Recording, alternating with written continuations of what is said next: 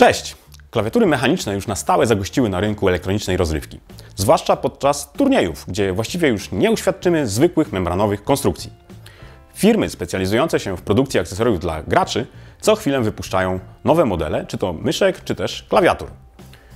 Tym razem trafiła do nas klawiatura SteelSeries Apex M500, która nawiązuje do klasycznych modeli, jak choćby SteelSeries 6 GV2, który zaskarbił sobie wielu fanów marki. W pierwszej kolejności zaglądamy do pudełka. Pudełko w typowych kolorach jak na SteelSeries, czyli taki pomarańczowy i czarny. E, Dobra, zaglądamy do środka. Hmm. Dobrze zabezpieczone jest, widać, do transportu. O, ok, tutaj puściło. O, jeszcze jeden. Jeszcze jeden, tutaj. O. Oto i ona. Klawiatura M500. No, ciężka. Nawet bym powiedział, że bardzo ciężka. Natomiast wygląda klasycznie i to już mi się podoba. Czy coś jeszcze mamy? Mamy tutaj Quick Start Guide i co? I to chyba wszystko. Tak, więcej już nic nie ma. Z wyglądu M500 kojarzy się z tradycyjnymi klawiaturami. Nie ma tu żadnych dodatków w postaci choćby podstawki nadgarstki czy dedykowanych klawiszy multimedialnych. Od pierwszego kontaktu e, z produktu bije prostota, ale też stabilność i bardzo dobra jakość wykonania. Klawiatura nie jest duża, ale za to wydaje się trochę ciężka. Jej waga to ponad 1200 gramów. SteelSeries Apex M500 to klawiatura mechaniczna wyposażona w przełączniki Cherry MX Red. Charakteryzują się one umiarkowanym skokiem 4 mm, a aktywacja przełącznika następuje już po 2 mm. Ich żywotność została określona na 50 milionów kliknięć każdy. Przełączniki są dość głośne, jednak na tle konkurencji nie wypadają źle. No, chyba że weźmiemy do porównania Apexa M800, która jest chyba najciszą mechaniczną klawiaturą na rynku. Posłuchajcie zresztą.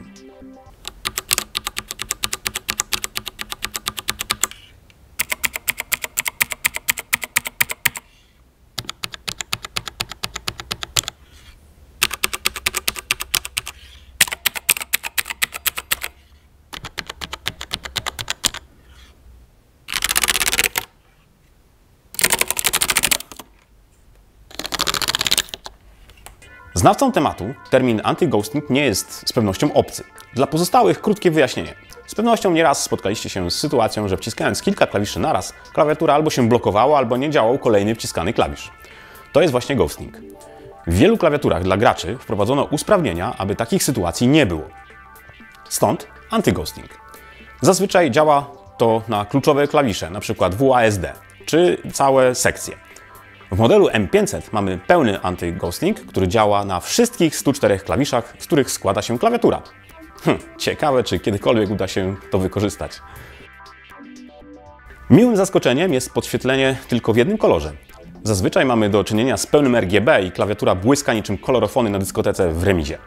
Jeśli nie spodoba Ci się niebieska dioda LED, za pomocą aplikacji SteelSeries Engine można regulować jej natężenie. Aplikacja ta nie tylko reguluje podświetlenie klawiatury, to centrum dowodzenia, w którym personalizujemy klawiaturę pod swoje indywidualne upodobania. Znajdziemy tam wszystko, czego potrzeba wytrawnemu graczowi. Makra, mapowanie klawiszy, tworzenie profili i tym podobne. Cała masa szczegółowych ustawień, których nie jeden może się zgubić. Aplikacja działa też ze słuchawkami i myszkami SteelSeries. W jednym miejscu mamy dostęp do wszystkich ustawień, wystarczy tylko przełączyć się na odpowiedni sprzęt. No po prostu świetna sprawa. Cóż, po wielu godzinach zabawy i pracy stwierdzam, że ten sprzęt jest naprawdę wygodny. Sprawdzi się zarówno w grach, jak i w pracy. No, do gier przecież został stworzony. Zadowoleni będą też ci, którzy klawiaturę traktują jako narzędzie pracy. Pisze się na niej świetnie, choć trzeba się przyzwyczaić do odgłosów. Początki po przejściu z klawiatury w notebooku na mechanika no, mogą być bolesne dla uszu. SteelSeries Apex M500 to sprzęt godny polecenia. Jeśli szukasz wytrzymałej klawiatury do gier i do pracy, to może być odpowiedni wybór. Klawisze szybko łapią i pisanie na nie jest czystą przyjemnością. To dopracowany produkt pod każdym względem. Niestety, jak na wyjątkowo dobry sprzęt, taki ten sporo kosztuje. Przygotujcie się na wydatek rzędu 500 zł. Na tyle został wyceniony ten model. Yy, Większość z Was w tej chwili pewnie złapie się za głowę. Jednak jeśli prześledzicie konkurencyjne produkty typu Logitech G710 Plus czy Razer Black Widow, to zobaczycie, że kosztują praktycznie tyle samo. Zachęcam również do sprawdzenia naszej recenzji modelu Apex M800. A ja się już żegnam. Nie zapomnijcie o subskrypcji naszego kanału. Do zobaczenia w kolejnym materiale. Cześć!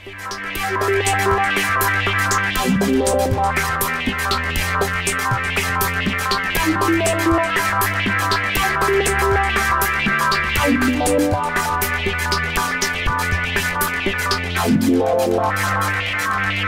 you.